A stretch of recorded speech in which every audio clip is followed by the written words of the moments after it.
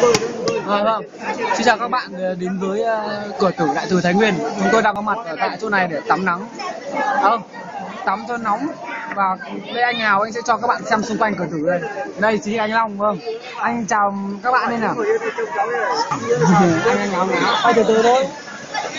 Yeah. À, và xa xa đây chính là bãi tắm. Đây. Bãi tắm sâu 2 mét. ấy.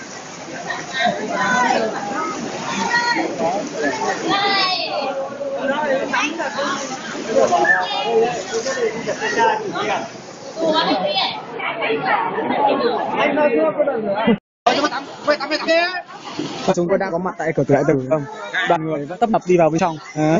Và thời tiết bây giờ chắc đang bốn bốn bốn rưỡi chiều ngày mùng 1 tháng 5 năm 2015 cái này là ngày nghỉ lễ tự động nên là mọi người có tụ tập đến rất đông phong cảnh đây thì chung cũng khá là đẹp mà muốn lên đi hết này thì chắc là mất ờ, vòng cả một ngày mất vì leo trong kia rất nhiều chỗ hay đấy vâng là tiếp tao đây mày sai đấy tiếp tao ấy vào đi ngồi đây trắng Đây, vâng. Tôi chính là chủ máy quay anh Hào. Anh anh anh anh vừa bơi xong anh rất là mệt mỏi. Thì Long có ngao không? Vâng, ai anh đang ngáo đấy hả? Chứ anh rất là ngáo. Kìa. À, cảnh à, đẹp gọi là lung linh vách cái.